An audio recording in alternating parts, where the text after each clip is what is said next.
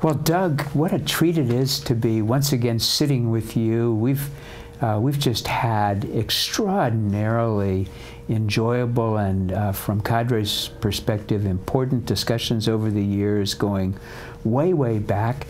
Maybe just as a way to kind of get things rolling, uh, tell me, tell us a little bit about what you've been up to for the last few years. Okay, well, thank you. And Marshall, it's, it's a pleasure to be here with you as well. We have gone back quite a while and uh, I really do appreciate our, our being colleagues together and, our, and our friendship as well. Well, I started with uh, dispute resolution when, uh, as a former employee of the California Department of Education, uh, we had a massive complaint of over 103 allegations, and the director asked me if I would do that investigation. At that point, I hadn't had any mediation training, and I jumped into that project and and we did uh, complete that complaint. And I found that I needed further training, so I, I got that training through a community mediation center. Uh, California has a process of mediation centers through the Dispute Resolution Programs Act hmm. that allows counties to assist their citizens resolve issues or complaints or or problems that they're having at a very lowest level before they enter the judicial system. So we have this entire system in California that I took advantage of to be trained as a mediator, and I brought that knowledge back to the department, and, and you and I helped, uh, you helped me uh, design the first institute on ADR at the department some time ago, and we had some pilot programs and made a lot of progress in that area. Yeah, you know, thinking about that, I remember uh, the partnering process yes, that you had, yeah. which I absolutely loved. It was, you know, a brilliant way to get buy-off. Say, say a little bit about how that worked. Well, that partnering process was uh, one that I, I looked at through the Ar uh, U.S. Army Corps of Engineers. The construction industry at the time had a partnering process uh, it's the beginnings of collaboration on a project. And when I say collaboration, it simply means let's work together on something. so uh, the partnering was that you brought people together, uh, you came to some common agreements about how you wanted to see things done. I think in the world of ADR, we might call them procedural agreements. Uh, how we're going to talk about the what what are some of the outcomes going to be? What are some of the things that we feel are important as a group? I think it came almost as just a standard way of doing good business together, mm. working together, and setting the rules prior to jumping into the topic. Yeah. And I think uh, managing expectations and all of the things that are associated with that are part of the partnering process. Yeah, you know, I remember. Uh, and my memory is not to be trusted, that, that, there was actually a charter that was created that everyone signed off on we that did. essentially authorized the work. we was, did do that, um, and it was uh, we we completed the process of all those things I just mentioned. We listed what was important, how we were going to realize those things, and then everybody in the in the group signed uh, their names around the charter, the the promise. Yeah and it was a way to uh, institutionalize that thought. And some groups had them blown up to poster size and was in the director's office. Uh, one of the things is to make it public. is one of the outcomes of that is to publicize it. Yeah, so it was, it was that was really fun. I enjoyed doing yeah, that. Yeah, that was you. a good project. So now, for years, you've been helping people to collaborate in a variety of different contexts. As you kind of think mm -hmm. about that work, are there, you know, thoughts that you believe have been particularly powerful that have really supported you helping folks to work well together? Yeah. Uh, well, these are things I've observed in myself uh, and in others. as they evolved along this, this road of collaboration. So the first thing uh, that comes to my mind, it's not about me, it's not about you, but it's about us. So that's kind of a foundational statement. And that took, uh, that took me a while to mature, should I say, into that, that level of thinking. And I've seen others mature the same way into the, the whole is more important than the individual segments. Hmm. And the other thing about collaboration that I've found is I've never seen an outcome that uh, was better than a collaborative one than a single one. The collaborative outcome is always richer, it's mm-hmm. stronger, It involves different perspectives and viewpoints than if a singular entity had been working on that same issue. We in the, uh, the world of education, it's a very complex situation. We have a lot of different parties. We oftentimes can't or don't understand their point of views because we, we're not experiencing that. So when we collaborate, we work together. And if it was only as simple as that, yeah. we all know that collaboration is, uh, is a necessary uh, process to engage in to get that good outcome. And it can also be a very difficult one. So we need the tools, we need the opportunities to bring people together. And as a system designer, I think that's critical that we should offer up the public these opportunities to join together, to collaborate, and to, and to work on issues that are important to all of us. And imagining that you have a group of people uh, that you've brought together, are there, um, are there uh, things that you would do before the meeting or during the meeting that you think would contribute to sort of maximizing the collaborative opportunity? Yeah, I think you're right about that. There are things, I mentioned the word procedural agreements, of, of, just what is it the purpose of why we're going to be here. Uh, oftentimes, to figure out the, the why we're here and how we're going to do it, ask those questions, and set up those processes even before we begin to delve into mm -hmm. the issue whichever that might be, and the issue may have changed as a result of that. But these are some things that uh, lead towards a, a, good collaborative process is, is setting up good procedural agreements, the, the how we're going to talk about the what, who owns the process, what's that going to be like, yeah. So, so Doug, for years you've been thinking about special education dispute resolution systems. Mm -hmm. You've overseen a number uh, of prior to leaving uh, the department to retire, you oversaw a number of innovative projects. Um, as you think about systems, are there um, dispute resolution systems, especially in special ed, are there gleanings or takeaways about systems that? The ways that I think about that is, is what fits for the community. And we can offer up uh, structures, uh, processes, global pictures but I believe that uh, what's most important is for the people that are in the community to design their own system and to determine which of all these opportunities they're able and capable to take advantage of mm -hmm. and to make use of what fits, what's going to be the best for us, and to begin to uh, take that opportunity and operationalize it. So one of the key takeaways of systems design that I've found is to give the authority uh, the ability and the opportunity for the participants to design their own system. but we can be a part of that opportunity by offering them that solution. Uh, in my previous position, uh, I was able to do an ADR design of a grant process. And one of the things that we identified was uh, there are family empowerment centers in California whose statutory charge is to uh, develop alternative dispute resolution systems for those engaged in the IEP process as a problem-solving way. There are SELPAs and school districts whose charge is to be compliant with all federal hmm. and state statutes. There are local mediation centers whose job is to bring citizens together to be able to resolve situations at a local level. And at times, they're all maybe aware of each other, but they haven't been given the opportunity to develop a project together.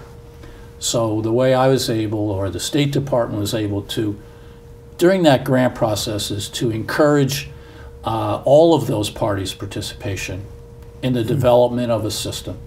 Now, the grantee has the opportunity to maximize that, to become acquainted with it, and put it on a continuum of how much they're going to use a local mediation center, how much they're going to involve the Family uh, Empowerment Center, but we've given them the opportunity to come together and to experience each other's strengths, what they bring to the table, and to see if it works in their community.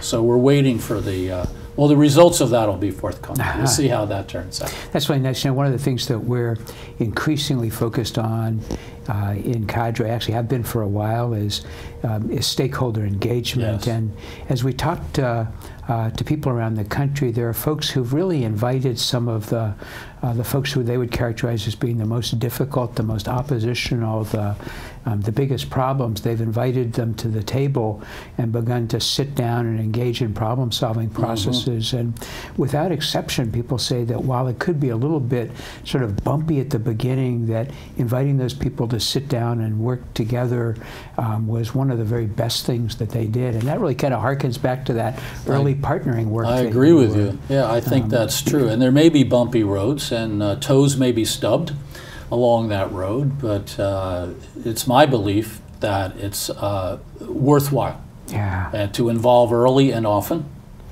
And uh, that can be done at a variety of levels, not only in dispute resolution with specific situations, uh, but even in the development of a regulation process. The regulations uh, implement statute, and uh, there are opportunities for all to weigh in on existing regulations uh, prior to the rulemaking process. So you can involve multiple parties that way.